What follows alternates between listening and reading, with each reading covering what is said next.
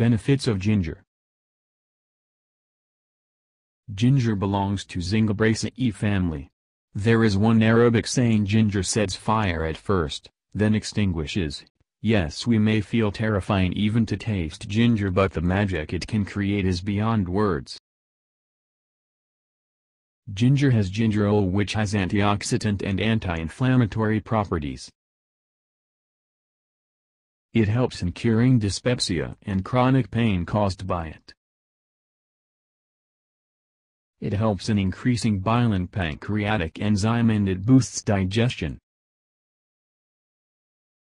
It helps in easy absorption of nutrients from the food if we adds ginger to it. It helps in decreasing blood sugar level in diabetic patient it has anti-diabetic property. Chromium, magnesium and zinc in ginger enhances blood flow and decreases risk of heart disease.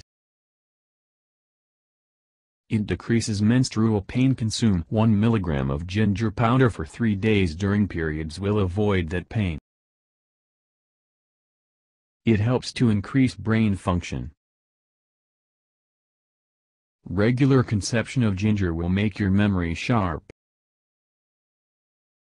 Regular consumption of ginger will helps to reduce anxiety, tension, stress and headache.